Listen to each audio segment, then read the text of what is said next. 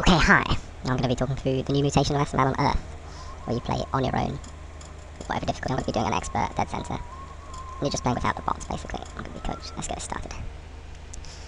There's no common infected, only uncommon infected. Um, you don't get incapped.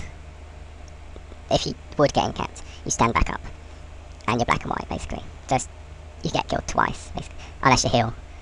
When you're black and white, it acts like you're black and white in a normal game. You just need to heal, and then you get back up to non-black and white health. It's it's all of it. You'll see once I'm playing. It's like the longest loading screen in the world. There we go.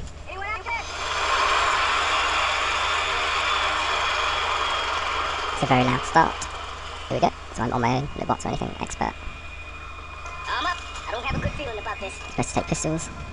And see, no, no common infected at all. So you don't have to worry about hordes, just special infected. I've got a jockey in front of me.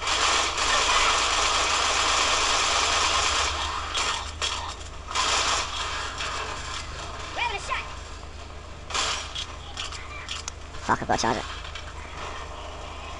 On the back of folks. Back Just get to lift as fast as possible before I die.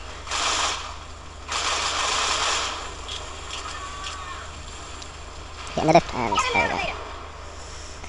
So yeah, just uncommon infected, uh, expert quality.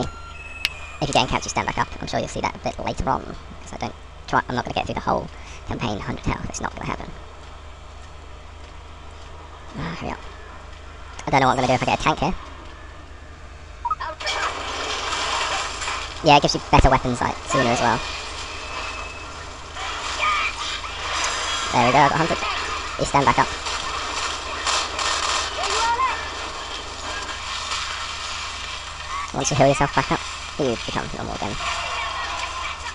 I'll go just run for it. It does, however, make Boomer. Bile absolutely useless. Boomer Bile is useless and pipe bombs are useless. Molotovs are not useless, but, you know, there's not much you can do with them.